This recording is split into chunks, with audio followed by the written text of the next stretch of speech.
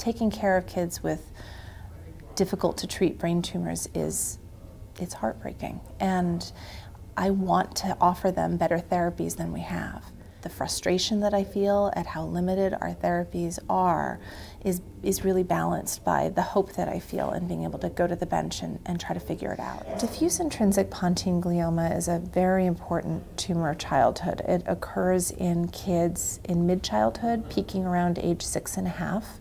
It's the second most common malignant brain tumor in children and it's the leading cause of brain tumor death in kids. It is um, essentially 100% fatal by five years. And the reason that the neurological symptoms are um, so rapidly progressive and, and so devastating is that this tumor occurs in this critical structure of the brain.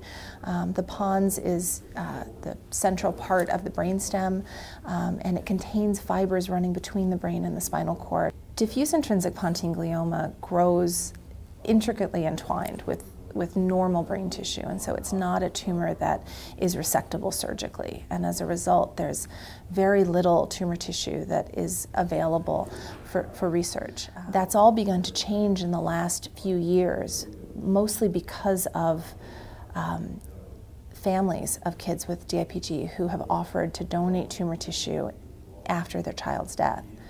And from that invaluable resource, my lab and others have, have been able to generate DIPG cell lines that we can study in a dish and that we can study in the context of, of mouse brains. And so using every DIPG uh, patient-derived cell line that was available at the time of the initiation of the study in the world, um, my colleagues and I have done a, a drug screen focused on, on drugs that we thought we could bring to clinical trial relatively quickly.